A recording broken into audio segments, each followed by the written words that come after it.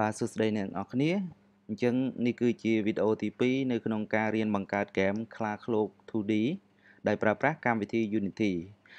អញ្ចឹងនៅក្នុងវីដេអូមុននោះគឺយើងសិក្សាអំពីរបៀបដំឡើងកម្មវិធី Unity ហើយនឹងយើងបានពន្យល់តកតងជាមួយនឹង basic tool មួយចំនួននៅក្នុងកម្មវិធី Unity ក្រោយពីយើងបង្កើត MT Project មកឥឡូវនេះខ្ញុំបានបើក MT Project ដែលយើងបានបង្កើតនៅក្នុងវីដេអូមុនរួចហើយនៅក្នុងវីដេអូនេះពួកយើងនឹងសិក្សាតនៅក្នុង MT Basic ហ្នឹងគឺយើងនឹងនិយាយអំពី panel មួយចំនួន អត្តន័យនៃ panel នោះឬក៏យើងហៅថា tab មួយចំនួន group មួយចំនួន នៅក្នុងនោះឧទាហរណ៍ដូចជា main game panel scene panel hierarchy panel project panel inspector panel console panel អូខេអញ្ចឹង panel ដែលសំខាន់សំខាន់មួយចំនួនហ្នឹងគឺយើងនឹងត្រូវប្រើប្រាស់នៅក្នុងការបង្កើតហ្គេមអញ្ចឹងយើងគួរតែដឹងថាតើវាមានអត្ថន័យយ៉ាងដូចម្ដេចនៅក្នុងកម្មវិធី Unity ហ្នឹងបាទក្នុងនោះដែរយើងក៏នឹងសិក្សាតកតងជាមួយនឹងការ import asset ដូចជា image sound ដែលយើងប្រើប្រាស់ នៅក្នុងការបង្កើតហ្គេមខ្លាឃ្លោករបស់យើងបាទអញ្ចឹងក្រោយពីបង្កើតក្រោយពី import asset ចូលទៅក្នុង MTVG របស់យើងហើយយើងនឹងសិក្សាតាក់ទងជាមួយនឹង tool ដែលយើងបាននិយាយនៅក្នុងវីដេអូមុនរួចមកហើយប៉ុន្តែលើកនេះគឺយើងនឹងសិក្សាពិស្ដារជាងមុនបន្តិចទៀតគឺយើងនឹងមានបង្កើត image រួចហើយយើងនឹងប្រើប្រាស់ tool នោះដើម្បីអឺ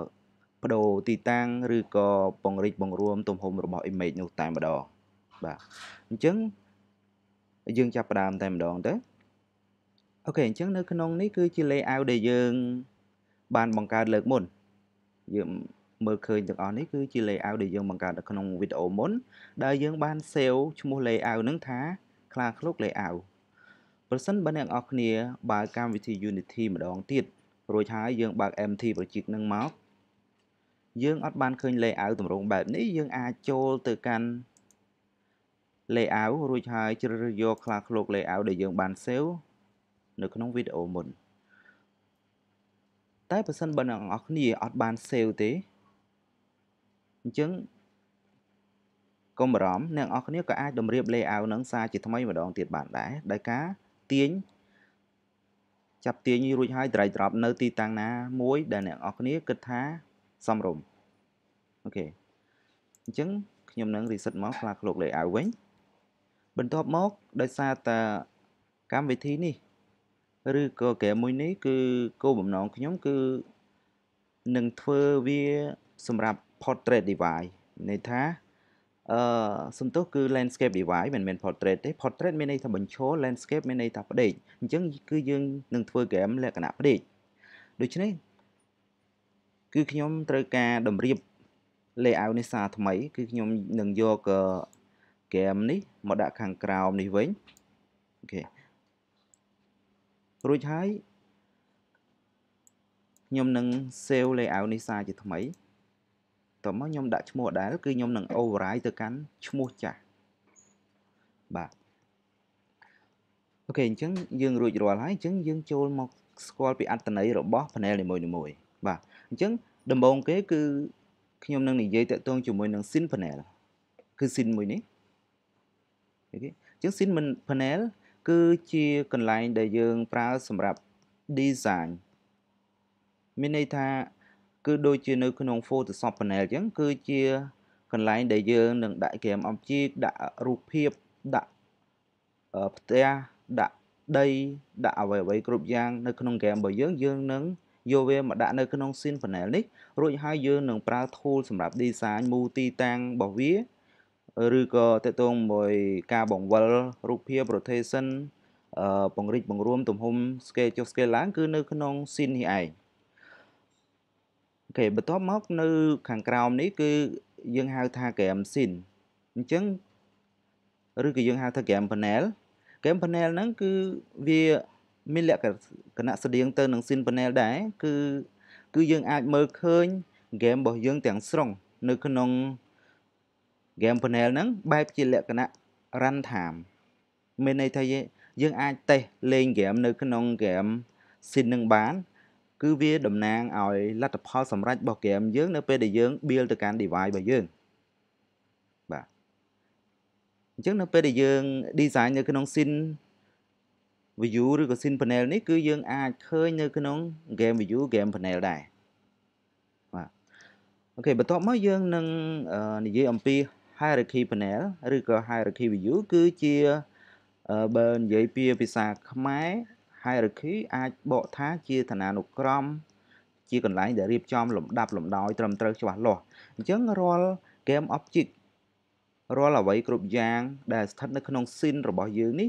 នឹងលេចឡើងនៅក្នុង hierarchy នេះដែរប៉ុន្តែគឺស្ថិតនៅក្នុងលំដាប់លំដោយច្បាស់លាស់អញ្ចឹងអ្នកនរគ្នានឹងឃើញ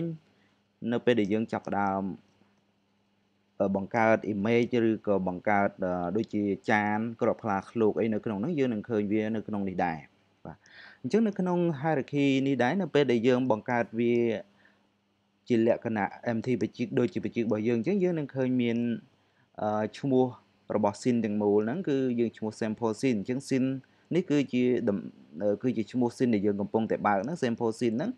ហើយ sin ហ្នឹងគឺនៅក្នុងនេះដែរគឺយើងមានឃើញ sample sin អញ្ចឹងនេះគឺជា file របស់ sample sin របស់យើងហើយនេះគឺជាកន្លែងដែលយើងបើក sample sin មួយហ្នឹងអញ្ចឹង sample sin នេះគឺជា sin ដែល Unity បង្កើតឡើងដោយស្វ័យប្រវត្តិនៅពេលដែលយើង create empty project ជាលើកដំបូង យើងក៏អាចលុប scene នេះចោលដើម្បី create scene ថ្មីរបស់យើងឬក៏យើងមិនចាំបាច់យើងគ្រាន់តែ rename scene មួយនេះទៅកាន់ឈ្មោះ scene ណាមួយដែលយើងចង់បានទៅបានហើយហើយនៅក្នុង scene នេះដែរជាទូទៅ នៅពេលដែលយើង create scene ដំបូងគឺវាភ្ជាប់ជាមួយនឹងកាមេរ៉ាយើងដែលស្វ័យប្រវត្តិអញ្ចឹងនៅក្នុងនេះវាឈ្មោះ main camera អញ្ចឹង main camera ហ្នឹងគឺជាកាមេរ៉ាដែលធ្វើឲ្យយើងឃើញ game ឬក៏ឃើញ item ដែលយើងអូសទម្លាក់ចូលទៅកាន់ scene view នឹងឯងបើសិនបើគ្មានកាមេរ៉ាទេគឺយើងអត់អាចមើលអីឃើញទេមានន័យថាកាមេរ៉ាដូចជាភ្នែកតំណាងឲ្យភ្នែករបស់យើងអញ្ចឹងអញ្ចឹង game វាមានកាមេរ៉ារបស់វាដែរនៅក្នុង Unity គឺសម្រាប់ធ្វើឲ្យឃើញ object ឬឃើញអ្វីអ្វីដែលយើងទម្លាក់ចូលទៅក្នុង scene view របស់យើងហ្នឹងបាទអញ្ចឹង hierarchy គឺមានអត្ថន័យបែបហ្នឹងឯងបន្ទាប់មកយើងចូលមកកាន់ project view ឬក៏ project panel គឺជាកន្លែងដែលយើងអាច navigate browse រក asset របស់យើងយកមកប្រើនៅក្នុង scene view អញ្ចឹងឧទាហរណ៍ដូចជា sample scene នេះគឺវាជា asset មួយហើយដែលនៅពេលដែលយើងបើកវាគឺយើងនឹងអាច design វានៅក្នុង scene view របស់យើងបាទហើយនៅក្នុង asset នេះដែរគឺយើងនឹងមាន asset ផ្សេងផ្សេងទៀតដែលចូលរួមក្នុងការបង្កើត game របស់យើង ដូចជា image គឺជារូបភាពហ្នឹងហើយគឺហើយដូចជាសម្លេងហើយនឹងបើសិនបើយើងធ្វើ 3D game 3D យើងនឹងមាន model មានអីផ្សេងផ្សេងជាច្រើនទៀតមាន material អីអញ្ចឹងទៅអញ្ចឹងគ្រប់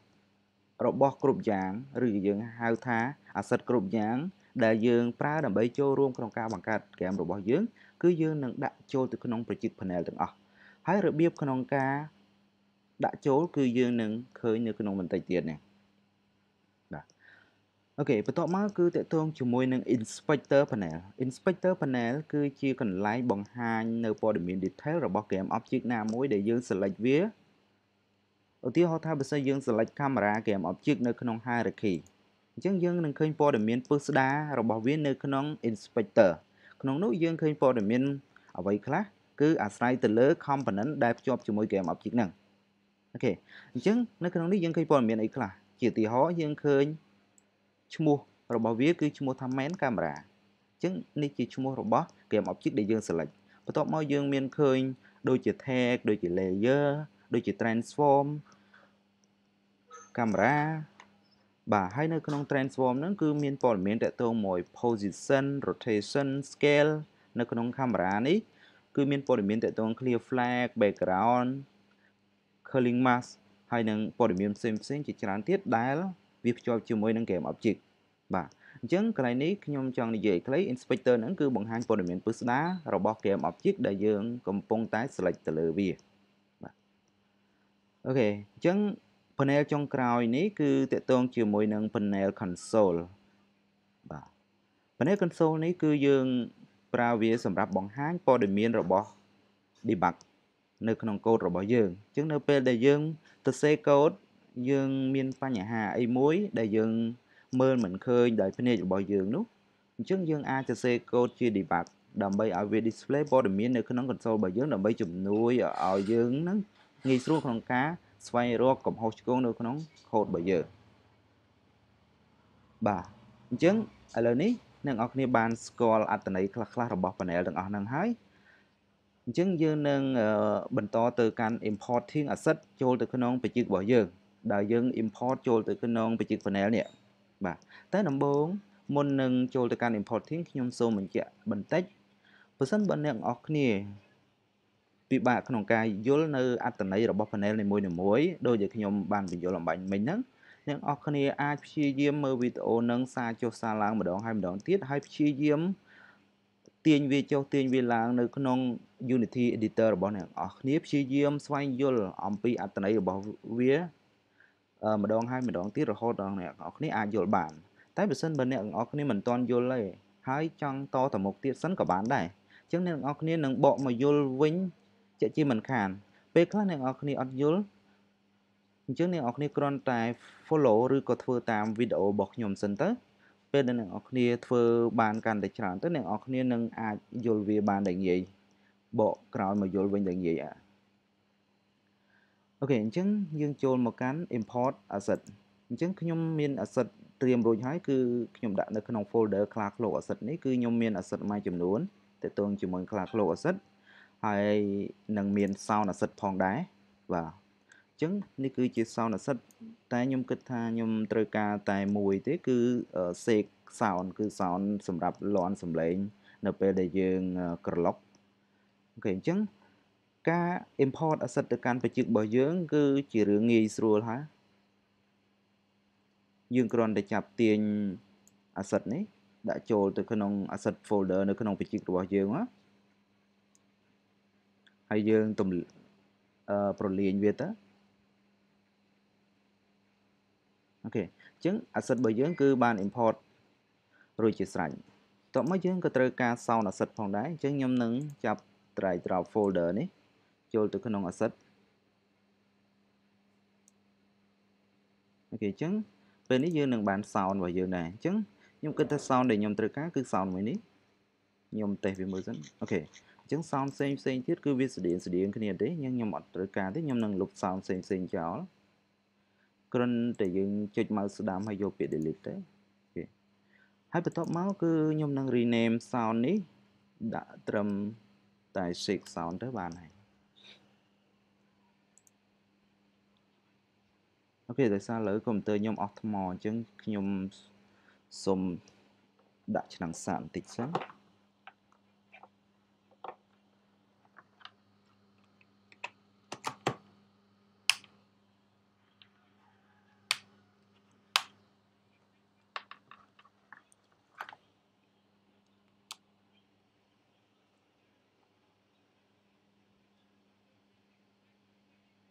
បាទ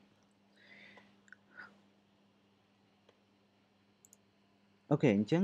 ដំណើរការនៃការ import asset របស់យើង ទាំងរូបភាពទាំងសំឡេង គឺបានបញ្ចប់រួចរាល់ហើយហើយខ្ញុំគិតថាអ្នកនរគ្នាអាចធ្វើបានហើយពីព្រោះវាអត់មានអីពិបាកទេគ្រាន់តែទាញទម្លាក់ទៅលើ asset folder តែប៉ុណ្ណោះ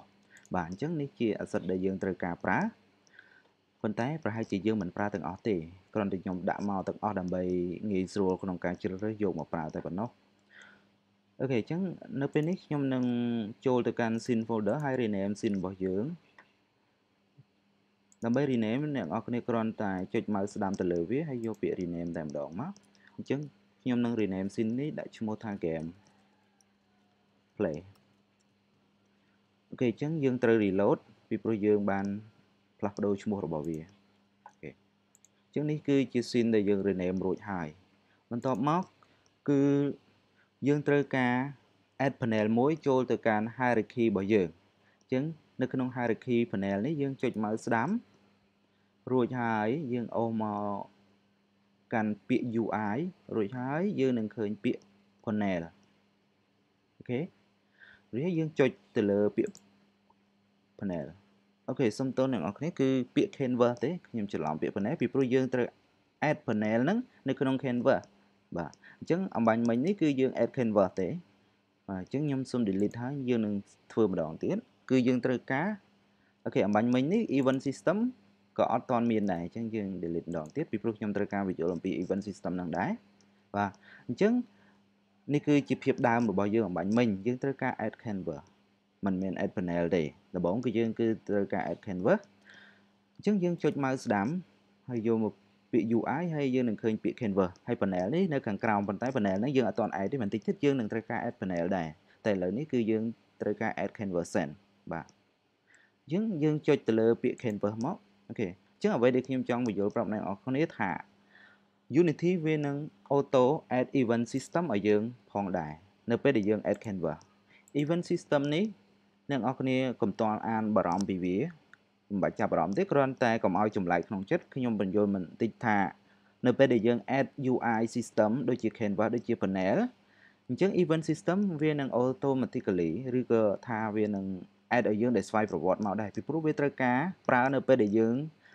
ត្រូវការធ្វើការ click ទៅលើប៊ូតុងឬក៏ click ទៅលើ UI ណាមួយគឺយើងត្រូវការប្រើប្រាស់ event system ហ្នឹងអញ្ចឹងបានជាវា add ដែលស្វ័យប្រវត្តិមក អូខេតែអ្នកនរគ្នាមិនបាច់តន់ចាប់អារម្មណ៍ពីវាក៏បានដែរតែគ្រាន់តែថាកុំ delete វាវិញបាទអូខេមួយវិញទៀតខ្ញុំនឹងឧទាហរណ៍អឺមួយទៀត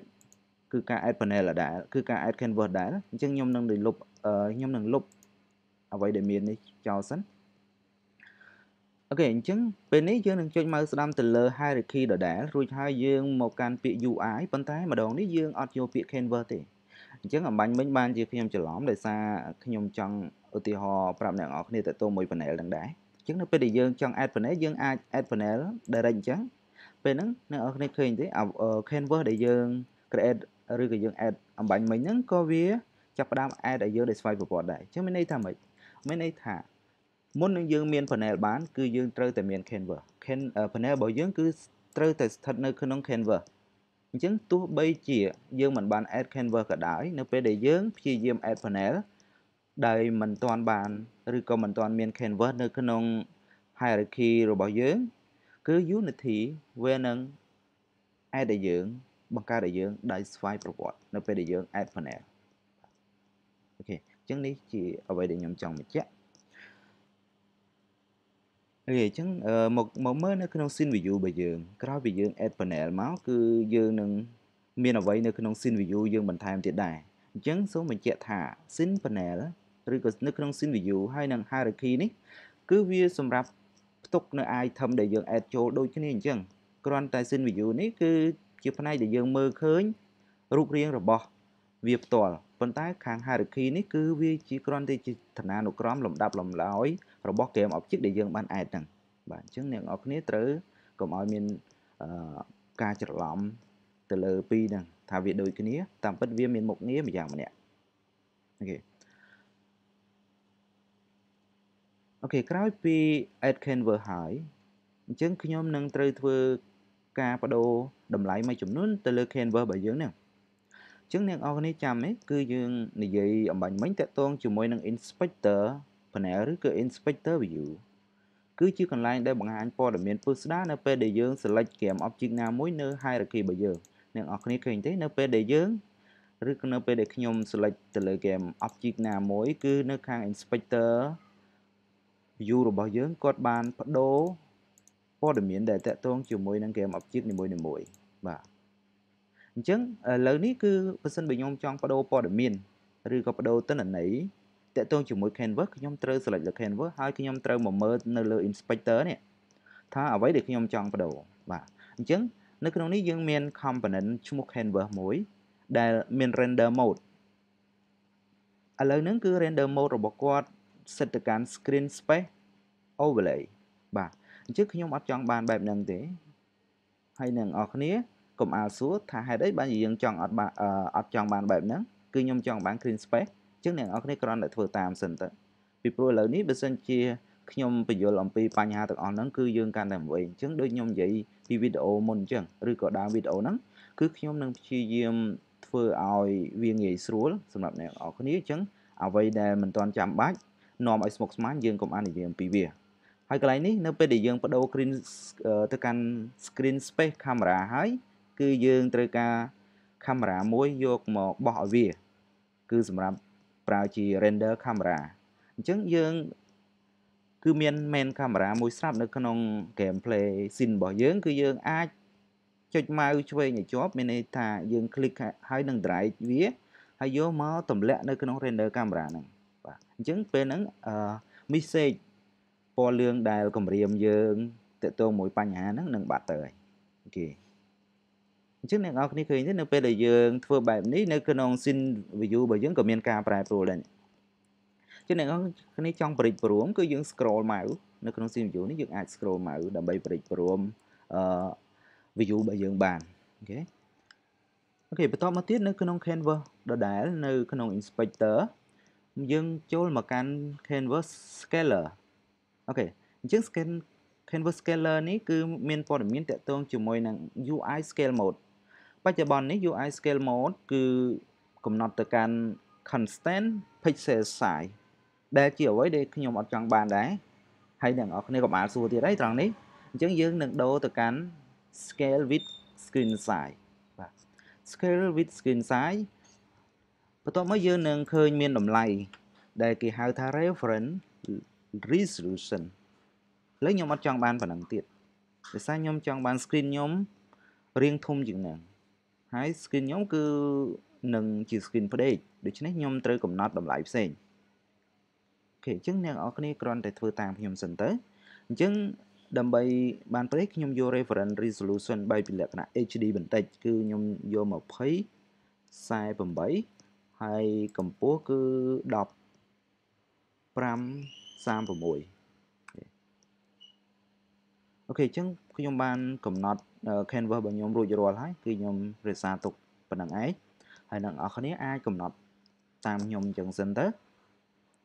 នៅពេលក្រោយក្រោយអ្នកនរគ្នាមានបទពិសោធន៍ច្រើនអ្នកនរគ្នានឹងយល់ពីបញ្ហាទាំងអស់នេះឬក៏ខ្ញុំអាចនឹងធ្វើវីដេអូដាច់ដោយឡែកមួយដើម្បីបញ្យល់អឺពីអត្ថន័យរបស់វាទាំងអស់ហ្នឹងបាទតែឥឡូវនេះគឺយើងអាចធ្វើតាមខ្ញុំសិនទៅ okay okay បន្ទាប់មកយើងមើលឃើញថា នៅក្នុង scene ហើយនឹង game view របស់យើង គឺនៅតែមានលក្ខណៈ portrait បញ្ចូលដដែលបាទអញ្ចឹងឥឡូវនេះយើងត្រូវចូលទៅកាន់ setting របស់ project របស់យើងដើម្បីដូរពី portrait មកកាន់ landscape វិញដើម្បីងាយស្រួលក្នុងការ design game របស់យើងអូខេអញ្ចឹងដើម្បីចូលទៅកាន់ build setting អ្នកនរគ្នាចុចទៅលើ menu file រួចហើយយើងជ្រើសរើសយកពាក្យថា build setting បាទអញ្ចឹងអ្នកនរគ្នាអាចឃើញ shortcut នៅទីនេះគឺ shortcut សម្រាប់ Mac Mac computer MacBook Pro ឬក៏ MacBook Air អីគឺវានឹងអឺមាន shortcut បែបនេះ គឺយើងអាចចុច C command B ពេលហ្នឹងគឺនឹង execute បើ build setting ដូចគ្នាអញ្ចឹងហើយនៅក្នុង Windows អឺយើងគ្រាន់តែបដូរ command មកកាន់ control វិញទៅអញ្ចឹងមានន័យថា control C B បាទអញ្ចឹងនៅពេលនេះ ដើម្បីងាយស្រួលអ្នកនរគ្នាមើលឃើញគឺខ្ញុំបានប្រើប្រាស់ menu ដែលផ្ទាល់គឺយើងចូលមក file menu build setting រួចហើយយើងចុចទៅលើ build setting ហ្នឹងមកអូខេអញ្ចឹងនៅក្នុង build setting នេះគឺមានជំរើសមួយចំនួនដែលយើងអាចជ្រើសរើសបាន តែយើងកុំខ្វល់យើងគ្រាន់តែចង់ឲ្យ project របស់យើងនឹងជ្រើសរើស platform ដែលជាក់លាក់មួយហើយមានទម្រង់ណាមួយច្បាស់លាស់អញ្ចឹង ឥឡូវនេះគឺជាជំរើសល្អបំផុតនោះគឺយើងជ្រើសរើសយក Android សិនពីព្រោះខ្ញុំគិតថា Android គឺអាចប្រើប្រាស់នៅក្នុង Windows ក៏បានហើយនឹងអឺនៅក្នុង Mac ក៏បានដែរ Mac OS ក៏បានដែរមាន Android ដូចគ្នាបើសិនបើយើងធ្វើ demo ទៅលើ iOS platform គឺអាចមានបងប្អូនខ្លះគាត់មានបញ្ហាពីព្រោះគាត់ប្រើប្រាស់លើ Windows អញ្ចឹងគាត់អត់អាច build ចេញជា IIS ហើយ IIS ចំណាយពេលយូរក្នុងការ build ចេញជាងអ្នកនរគ្នាលើកុំខ្វល់គឺជ្រើសរើសយក Android platform សិនមកហើយបើសិនបើអ្នកនរគ្នាចុចទៅលើ Android platform ឧទាហរណ៍ខ្ញុំចុចទៅលើ TV OS នេះហើយអ្នកនរគ្នាចុចបែបចេញបែបនេះអញ្ចឹងឥឡូវនេះខ្ញុំចុចទៅលើ Android platform គឺអត់មានចេញបែបហ្នឹងទេគឺចេញត្រឹមត្រូវគឺវាអត់ដូចពេលដែលខ្ញុំចុចទៅលើ TV OS នេះទេ គឺវាចេញបែបនេះមានន័យថាយើងអត់អាច បដូរឬក៏យើងអត់អាច select platform មួយនេះទេពីព្រោះយើងអត់បាន download យក component របស់វាមកនៅពេលដែលយើងអ្នកនរគ្នាចាំនៅពេលដែលខ្ញុំបង្ហាញពីរបៀប download Unity នៅក្នុង Unity Hub ដែលយើងត្រូវជ្រើសរើស select យក component ណាមួយដែលយើងយកមកប្រើពេលនោះបើសិនជាអ្នកនរគ្នាអត់បាន download ឬអត់បាន tick យក Android build support ទេពេលដែលអ្នកនរគ្នា click ទៅលើ Android platform អ្នកនរគ្នានឹងឃើញដូចខ្ញុំ click នៅលើ tvOS នេះអញ្ចឹងអញ្ចឹងអ្នកនរគ្នានឹងគួរតែទៅ install សារជាថ្មីពី Unity Hub ហ្នឹងមកបាទអូខេតែឥឡូវនេះគឺខ្ញុំសុំទៅមុខសិនយើង select លើ Android បើសិនអ្នកនរគ្នាឃើញបែបនេះគឺមានន័យថាអូខេអ្នកនរគ្នាបាន download មកត្រឹមត្រូវហើយយើងគ្រាន់តែ click ទៅលើប៊ូតុង switch platform ដើម្បី select យក Android platform នេះនៅពេលដែលយើង click អឺ Unity នឹងធ្វើការ import asset file ជាថ្មី ដើម្បីឲ្យវា support platform ដែលយើងកំពុងតែ select យកហ្នឹងអញ្ចឹងយើងត្រូវរងចាំមួយភ្លាតដោយដែលយើង create បញ្ជីកដំបូងអញ្ចឹងហើយការរងចាំនេះគឺវាអាស្រ័យទៅលើទំហំឬក៏ចំនួន asset នៅក្នុងបញ្ជីករបស់យើងទំហំបញ្ជីករបស់យើងបើសិនបាទ asset នៅក្នុងបញ្ជីករបស់យើង ដែលជា image ដែលជាសំឡេងអីហ្នឹងមានកាន់តែច្រើន ការរងចាំរបស់យើងហ្នឹងក៏កាន់តែច្រើនដែរ តែឥឡូវនេះបច្ចេករបស់យើងដូចជាទូចដែរទេយើងមាន asset តែមួយចំនួនរួចហើយយើងមាន sound តែមួយទេអញ្ចឹងវានឹងអាចលឿនបាទបាទអញ្ចឹងឥឡូវនេះវាក៏លឿនដែរវាចប់ហើយអញ្ចឹងយើងនឹង close build setting រួចហើយមកកាន់បច្ចេករបស់យើងវិញអូខេអញ្ចឹងឥឡូវនេះយើងឃើញថានៅក្នុង scene view ហើយនៅក្នុង game view របស់យើង គឺមានលក្ខណៈផ្ដេកហើយបាទប៉ុន្តែយើងមើលនៅក្នុង game view របស់យើងនេះ គឺនៅក្នុងនេះវាដាក់ថា free aspect បាទ free aspect មានន័យថា screen របស់យើង គឺសេរីអត់មានទំហំច្បាស់លាស់អញ្ចឹងខ្ញុំអត់ចង់ design game ទៅលើ free aspect បែបហ្នឹងទេ គឺខ្ញុំចង់ជ្រើសរើសយកទំហំច្បាស់លាស់ដើម្បីកុំឲ្យវាមានបញ្ហានៅពេលដែលយើងដំឡើងហ្គេមយើងនៅក្នុងទូរស័ព្ទណាមួយដែលមានទំហំផ្សេងផ្សេងគ្នាគឺធ្វើឲ្យហ្គេមយើងហ្នឹងគឺបាំង បាត់នេះបាត់នោះអត់ឃើញហ្គេមពេញលេញអញ្ចឹងយើងគួរតែមុននឹងយើងចាប់ផ្ដើម design យើងគួរតែជ្រើសរើស screen ណាមួយឲ្យច្បាស់លាស់បាទអញ្ចឹងខ្ញុំនឹង select ទៅលើ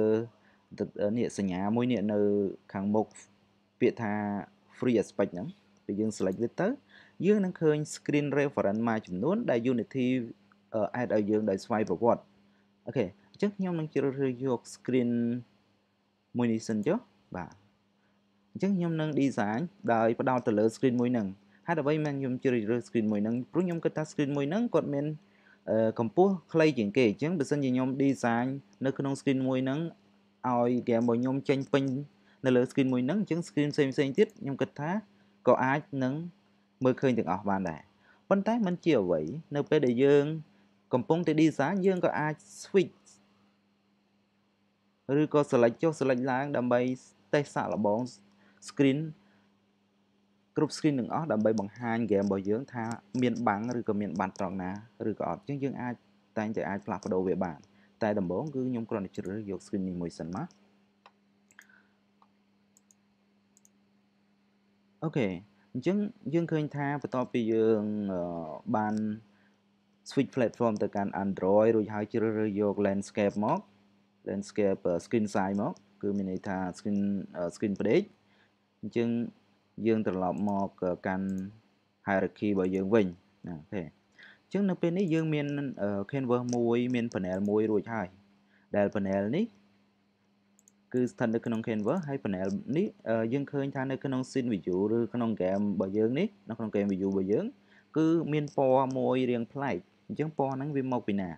ពណ៌នេះគឺជាពណ៌របស់ panel របស់យើងដែលនៅពេលដែលយើង select panel មកយើងកាន់មកកាន់ inspector យើងឃើញថា គឺយើងមាន component image មួយ ហើយវាមានក្នុងហ្នឹងវាមាន source image ដែលសរសេរថា background អញ្ចឹង background នេះគឺជា image ដែលមានជា default មានស្រាប់នៅក្នុងកម្មវិធី Unity នៅពេលដែលយើង create panel មក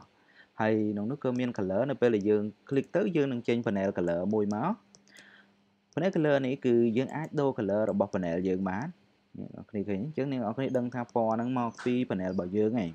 បន្ទាប់មកដោយសារពណ៌ហ្នឹងរៀងព្រាលបន្តិចដោយសារ alpha របស់យើងនៅត្រង់នេះគឺគឺអត់គ្រប់ពេញលេញទេយើងអាចដំឡើង alpha ឬក៏បន្ថយ alpha បាននៅទីនេះអូខេអញ្ចឹងនេះបើសិនជាយើងចង់ប្រើវាជា background របស់ game យើងប្រើពណ៌តែបើសិនជាយើងអត់ចង់ទេ យើងចង់ជំនួសដោយរូបភាពក៏បានដែរយើងមិនចាំបាច់ខ្វល់ពីពណ៌នេះទេ យើងអាច ចូលទៅកាន់ sprite folder របស់យើងរួចហើយយើងនឹងមាន background អូខេឥឡូវខ្ញុំនឹងជ្រើសយក wooden bg នេះដែលជាអឺ image ហើយយកវាមកធ្វើជា background របស់ game របស់យើងអញ្ចឹងឲ្យប្រកាសថា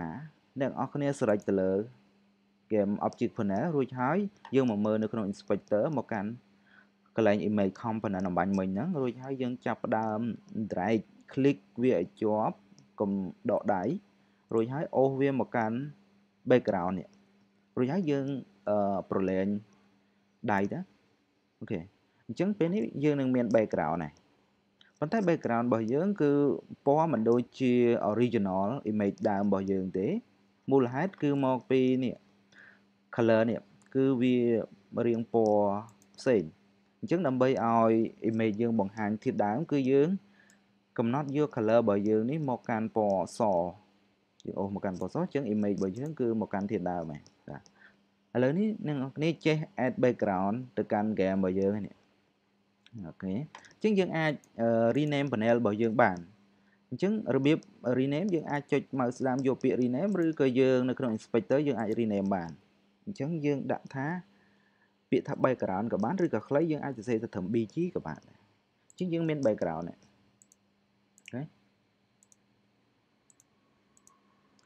អូខេអញ្ចឹងអឺយើងនឹង create game object មួយទៀតនៅក្នុង canvas របស់យើងបាទសម្រាប់អីគេអញ្ចឹង game object មួយទៀតនេះគឺយើងនឹងប្រើវាសម្រាប់ដាក់ចានរបស់ខ្លាឃ្លោកអូខេ អញ្ចឹងយើងចុច mouse ស្ដាំទៅលើ canvas រួចហើយយើងយកជ្រើសរើសយកពាក្យថា create empty អញ្ចឹងការដែលយើង create empty នេះគឺមានន័យថាយើង create empty game object មួយដែលវាគ្រាន់តែមានរូបរាងនៅក្នុងក្តីសម័យរបស់យើងប៉ុណ្ណោះតែវាអត់មានចេញរូបរាងនៅខាងក្រៅទេជាមានន័យថាវាមានរូបវាមាន game object តែវាយើងអាចហៅថាយើងមើលវាអត់ឃើញទេ វាដូចជាគ្រាន់តែសម្រាប់ group ក្រុមអីមួយបញ្ចូលគ្នា បាទអញ្ចឹងនៅក្នុងនេះខ្ញុំនឹងប្រើប្រាស់វាជា group ដើម្បី group ចានហើយនឹងគម្របរបស់វាហើយនឹងខ្លាឃ្លោក item ដែលនៅក្នុងចានហ្នឹងអូខេអញ្ចឹងខ្ញុំនឹង enter នៅក្នុង Mac Book Pro ឬក៏ MacBook Air យើងអាច enter ដើម្បី rename game object បាន ហើយនៅក្នុង Windows យើងអាចចុច F2 អញ្ចឹងបើអ្នកនរគ្នាចង់ប្រើ shortcut តែបើអត់ចង់ប្រើ shortcut ទេយើងអាចធ្វើដូចពេលដែលយើង rename background នេះក៏បានដែរយើងអាចចុច mouse ស្ដាំយកពាក្យ rename មកហើយខ្ញុំនឹងដាក់ឈ្មោះវាថា D group អញ្ចឹងវាប្រែថាក្រុមរបស់ចាន group របស់ចានអូខេអញ្ចឹងអឺនេះជា D group ដែលយើងមើលឃើញនៅក្នុង scene view បាទប៉ុន្តែនៅក្នុង game view យើងមើលឃើញ ហើយ scene view នេះគឺយើងគ្រាន់តែមើលឃើញអានេះមែនទេណាអានេះគឺជាកាមេរ៉ាទេអ្វីដែលយើងមើលឃើញជា D group គឺអា4ជ្រុងដែលមានពណ៌ខៀវចុចចុចពតជុំវិញនេះបាទហើយទំហំរបស់វាប៉ុណ្ណឹងតែយើងមិនបាច់ខ្វល់ពីទំហំរបស់ D group នឹងទេ គឺយើងប្រើវាគ្រាន់តែដើម្បី group game object ផ្សេងទៀតទេបាទអញ្ចឹងយើងចាប់ផ្ដើមចុចមកស្ដាំទៅលើ D group ហ្នឹងរួចហើយយកពាក្យថា UI ហើយជ្រើសយក image បាទអញ្ចឹងពេលហ្នឹងយើងនឹងមាន image មួយស្ថិតនៅក្នុង D group នេះហើយ image ហ្នឹងគឺមានទំហំប៉ុណ្ណេះអញ្ចឹងយើងបើយើងមើលនៅក្នុង inspector នៅពេលដែលយើង select image ហ្នឹងយើងឃើញមាន component មួយឈ្មោះ rect transform ហើយមាន width ដែលជាទទឹងរបស់ image ហ្នឹងទំហំរបស់វា100ហើយ high ក៏ដែលជាកម្ពស់របស់ image 100អញ្ចឹងន័យថាគឺជាការ៉េ image ហ្នឹងត ម្រង់ជាការ៉េដែលមានទទឹង100និងបណ្ដោយ100បាទអញ្ចឹងយើងទុកវាបែបហ្នឹងសិនយើងនឹងស្វែងរក image ចានបាតចានអូខេនេះ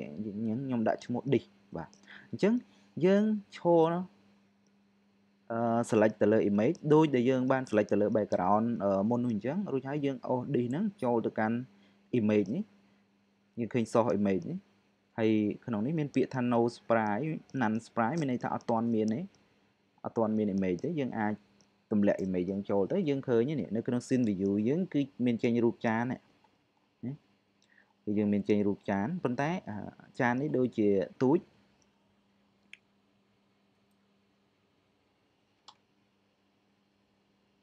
okay អញ្ចឹងយើងនឹងត្រូវការអឺពង្រីកចានហ្នឹង okay okay ឥឡូវនេះគឺយើងមកដល់ tool របស់យើងហើយនេះ okay អញ្ចឹង tool ដែលយើងកំពុងតែឈរហ្នឹងគឺយើងប្រើ tool មួយនេះគឺ rect tool អញ្ចឹង rect tool គឺវាមានសារៈប្រយោជន៍នៅពេលដែលយើងចង់បរិចានហ្នឹងគឺយើងអាចទាញបរិចបែបនេះបានណាយើងអាចគ្រាន់តែអូសម៉ៅទៅលើចំណុចខៀវហ្នឹងគឺយើងអាចចុចហើយទាញពង្រីកបានទាញឲ្យបង្រីកបានប៉ុន្តែ នៅពេលដែលយើងទាញបែបហ្នឹងគឺយើងអាចធ្វើឲ្យចានរបស់យើងហ្នឹងខូចទ្រង់ទ្រាយខូច resolution ដើមដូច្នេះខ្ញុំនឹង comment Z ដើម្បីថយក្រោយវិញអញ្ចឹងខ្ញុំនឹងប្រើប្រាស់ soft cut ដើម្បីទាញរូបហ្នឹងកុំឲ្យវាខូចទ្រង់ទ្រាយហើយឲ្យវារីកធំដែរអញ្ចឹងអ្នកនរគ្នាអាចយកម៉ៅទៅដាក់លើអាចំណុចខៀវហ្នឹងរួចហើយចុចវាឲ្យជាប់កុំ Alt អូសរួចហើយយើងមកនៅក្នុង keyboard យើងអាចចុច Alt Shift បើសិនបើនៅក្នុង Windows ក៏ Alt C ដូចគ្នាដែរពេលហ្នឹងយើងអាចពង្រីកវាហើយយើងអត់ខូចទ្រង់ទ្រាយទៀតអូខេអញ្ចឹងខ្ញុំគិតថាទំហំវាប៉ុណ្ណឹងក៏បានដែរប៉ុន្តែបើសិនបើអ្នកទាំងអស់គ្នាខ្ជិលមករីកបែបហ្នឹងយើងអាច មកកាន់ width high របស់ image នឹងផ្ទាល់រួចហើយយើងអាចកំណត់ទំហំរបស់វាផ្ទាល់នៅទីនេះក៏បាននៅទីហោឡើយនេះខ្ញុំគិតថាខ្ញុំដាក់វា4 900តែម្ដងទៅ width ហើយ900 high ដែរទេបាទអូខេអញ្ចឹងពេលនេះចានរបស់យើងមានទំហំទៅតឹង900និងនឹងកម្ពស់900ហើយយើងអាច rename image នេះដូចលើកមុនដែរអញ្ចឹងខ្ញុំនឹង rename image នេះដាក់ឈ្មោះថា disk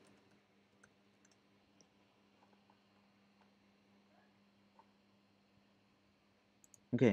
បន្ទាប់មកខ្ញុំនឹងធ្វើការ add image បន្ថែមទៀតហើយពេលនេះគឺខ្ញុំនឹងដាក់ image ថ្មីហ្នឹងនៅក្នុង disk នេះតែម្ដងអញ្ចឹងយើងចុច mouse ស្ដាំលើ disk យើងយកពាក្យ UI ហើយយកពាក្យ image បាទអញ្ចឹង image នេះគឺដូចមុនអញ្ចឹងគឺយើងនឹងដាក់ក្របខ្លាឃ្លោក okay អញ្ចឹងក្របខ្លាឃ្លោកគឺក្របនេះអញ្ចឹងខ្ញុំនឹងធ្វើដូចមុនហ្នឹងអញ្ចឹងខ្ញុំគិតថាអ្នកទាំងអស់គ្នាអាចធ្វើបានហើយអញ្ចឹងខ្ញុំធ្វើឲ្យលឿនតិច ពីព្រោះអ្វីពិសេសគឺវាដដែលដដែលទេគឺ create image រួចហើយក៏ទាញ image ដាក់ចូល okay អញ្ចឹងខ្ញុំនឹងទាញ image មួយនេះដាក់ចូលទៅក្នុង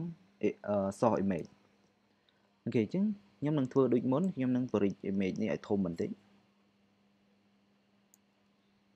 okay okay ឥឡូវខ្ញុំកំណត់ទៅតឹងរបស់វាជាក់លាក់ថា360ចុះ 360 okay អញ្ចឹងវាប៉ុណ្ណឹងហើយខ្ញុំនឹងអូសវាទៅលើបន្តិចអូខេខ្ញុំដាក់វាត្រង់នេះចុះរួចហើយខ្ញុំដាក់ឈ្មោះវាថា item 1ចុះពីព្រោះយើងធម្មតាហ្គេមខ្លះគ្លោកយើងត្រូវការ3បាទ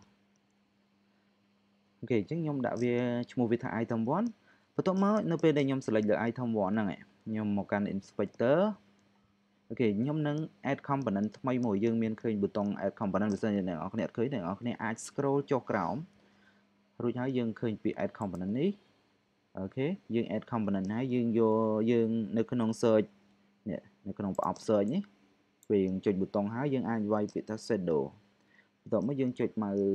យើង enter ទៅអញ្ចឹងគោលបំណងខ្ញុំចង់ដាក់ស្រមោលឲ្យ image នេះបន្តិចដើម្បីឲ្យវាឃើញរាងផុសបន្តិច អូខេបន្ទាប់មកខ្ញុំនឹងដាក់តម្លៃ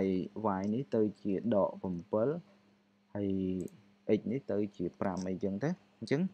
អ្នកនរគ្នាឃើញនៅក្នុង game view របស់យើងយើងឃើញនេះមានមាននេះរៀងផុសមកមានសមោលទៅឃើញ image របស់យើងរៀងផុសឡើងបន្តិចចឹងមើលទៅឃើញស្អាតបន្តិចអូខេអឺបន្ទាប់មកទៀតខ្ញុំនឹងធ្វើការ duplicate item នេះពីព្រោះយើងត្រូវការ item 2ទៀតមិនចឹង អញ្ចឹងយើងមិនបាច់ធ្វើដូចមុនទៀតទេអញ្ចឹងវានឹងចំណាយពេលយូរយើងមានវិធីសាស្ត្រយើងអាច duplicate បានអញ្ចឹងអ្នកនរគ្នាគ្រាន់តែ select ទៅលើ item ទី1ហ្នឹង item 1ហ្នឹងរួចហើយចុច command D ឬក៏ control D នៅក្នុង window មកអញ្ចឹងខ្ញុំចាប់ផ្ដើមចុចទៅអូខេអញ្ចឹងវានឹងចេញ item មួយផ្សេងទៀតតែយើងមើលទៅដូចជាអត់មានអញ្ចឹងអញ្ចឹងនេះជាសារៈប្រយោជន៍ដែលយើងប្រើ hierarchy អ្នកនរគ្នាយល់ពីសារៈប្រយោជន៍នៃការប្រើ hierarchy អញ្ចឹងយើងឃើញថា hierarchy របស់យើងបង្ហាញថាមាន item 2ប៉ុន្តែនៅក្នុងរូបភាពរបស់យើងគឺមានតែ item មួយទេអញ្ចឹងមូលហេតុមកពីវានៅគោគ្នាអូខេអញ្ចឹងនេះជាសារៈប្រយោជន៍នៃការប្រើប្រើ hierarchy view ទោះបីជាវាគោគ្នានៅក្នុង scene view ឬក៏ game view ក៏យើងអាចមើលឃើញនៅក្នុង hierarchy view ថាវាមានពីរផ្សេងគ្នាអញ្ចឹងយើងអាចចាប់អូសវា អូខេដើម្បីងាយស្រួលអូសយើងអាចមកប្រើ tool move នេះយើងអាចប្រើយើងអាចអូសបែបនេះក៏បានដែរប៉ុន្តែបើសិនជាយើងអូសដើម្បីឲ្យចំទីតាំងយើងអាចប្រើ tool move នេះគឺយើងអាចឃើញពេលដែលយើង select ទៅលើ tool move នេះយើងនឹងឃើញចេញសញ្ញាព្រួញ2ទៅលើ image របស់យើងអញ្ចឹងយើងអាច select ទៅលើ image អឺសញ្ញាព្រួញពណ៌លើនេះខាងលើនេះដើម្បីអូសមកក្រោមបានអូខេ ហើយយើងអាចប្រើសញ្ញានេះដើម្បីអូសទៅឆ្វេងឬក៏ស្ដាំលើក្រោមឆ្វេងស្ដាំអ្នកនរគ្នាក៏អាចចាប់អូសជិះបានដូចគ្នាដែរអូខេអញ្ចឹងខ្ញុំនឹងអូសអានេះទៅលើបន្តិចទៀតដើម្បីឲ្យដាក់វាចុះសិននឹងសិននឹងអរគ្នាអត់អាចដាក់វាចុះទេនៅក្នុងចានតែមួយទេអ្នកនរគ្នាអាចអឺបង្រួមរូបភាពនឹងបន្តិចទៀតបាទឥឡូវខ្ញុំសាកមើលសិនគួរតែអាចដាក់ចុះអូខេអញ្ចឹងមានន័យថាយើងត្រូវការរូបភាពមួយទៀត ហើយនឹងអ្នកនរគ្នាកុំឲ្យវាច្រឡំយើងអាចដូររូបភាពតែម្ដងឧទាហរណ៍រូបនេះយើងអាចដាក់ឃ្លោកអញ្ចឹងទៅបាទ item ទី2ហ្នឹងអញ្ចឹងយើង rename វាឲ្យទៅយើងដាក់ item ទី2មកតោះមកខ្ញុំនឹងចុច command នេះនៅក្នុង item ទី2ហ្នឹងទៀតរួចហើយទាញដូចមុនទៀតOkay ទាញវានេះ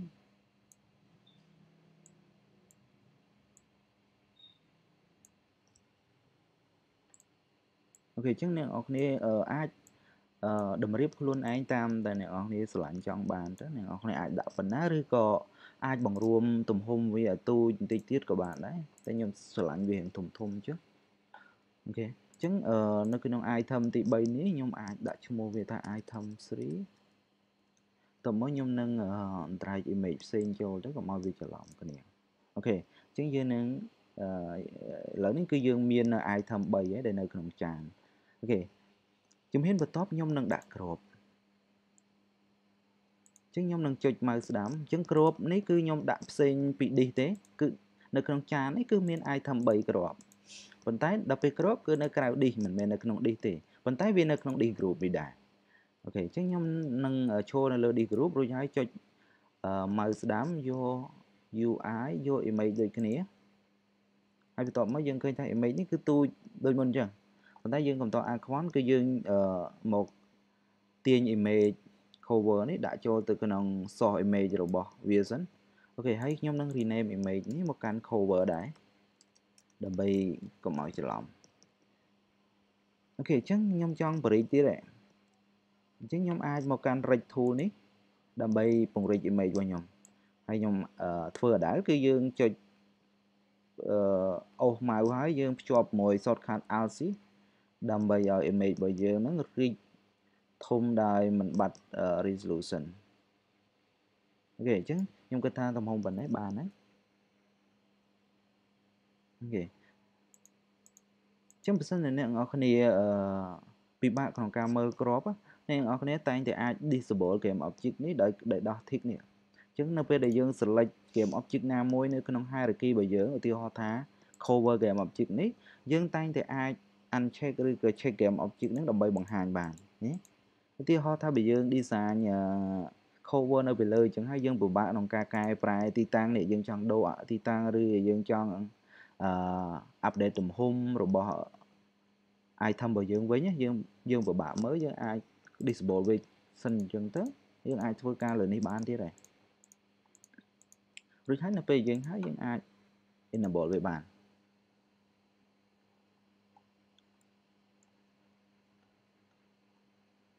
អូខេអញ្ចឹង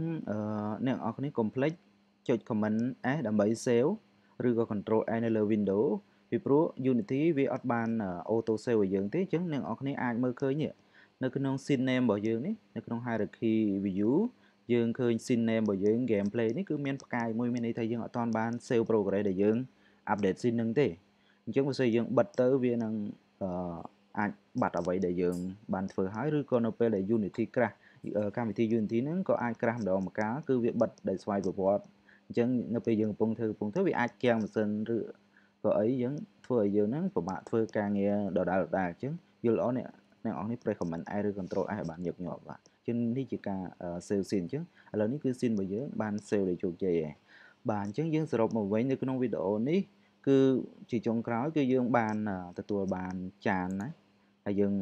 បានក្របខ្លាឃ្លោកបានគម្របអីបានដាក់ background បាទដាក់អីហើយហ៎អញ្ចឹងវីដេអូនេះគឺខ្ញុំសូមបញ្ចប់តែប៉ុណ្ណឹងហើយនៅក្នុងវីដេអូបន្ទាប់យើងនឹងធ្វើឲ្យហ្គេមរបស់យើងដំណើរការពីព្រោះហ្គេមយើងឥឡូវហ្នឹងគឺអាចរ៉ាន់បានហើយអ្នកនរគ្នាគ្រាន់តែចុចទៅលើប៊ូតុង play នេះអញ្ចឹងមានន័យថាយើងចាប់ផ្ដើមរ៉ាន់ហ្គេមយើងអូខេយើងត្រូវរងចាំវាបន្តិចមកអញ្ចឹងនៅពេលដែល ហ្គេមរបស់យើងនេះនៅលើប៊ូតុង play វា to go down អញ្ចឹងហើយវាចេញពណ៌ខៀវបែបនេះគឺមានន័យថា game របស់យើងគឺកំពុងតែដើរហើយនេះយើងអាចចុចលេងនៅលើ game view នេះដើម្បីតេស្តបានប៉ុន្តែឥឡូវនេះគឺវាអត់មានអឺប្រតិកម្មអីជាមួយយើងទេយើងទោះបីយើង click មិនក៏ដោយគឺយើងមើលទៅឃើញធម្មតាដូចអត់អត់ទាន់បាន run game អញ្ចឹងពីព្រោះយើងអត់ទាន់បានសរសេរ script ទៅសេកូដដើម្បីឲ្យវាធ្វើសកម្មភាពអីមួយឬក៏វាមានទំនួលខុសត្រូវតាក់ទងជាមួយនឹងការ click របស់យើងឯងជាងយើងអត់ទាន់បានធ្វើអីសោះគឺយើងគ្រាន់តែធ្វើផ្នែក design តែប៉ុណ្ណោះបាទអញ្ចឹងនៅក្នុងវីដេអូបន្ទាប់យើងនឹងធ្វើការ add code ដើម្បី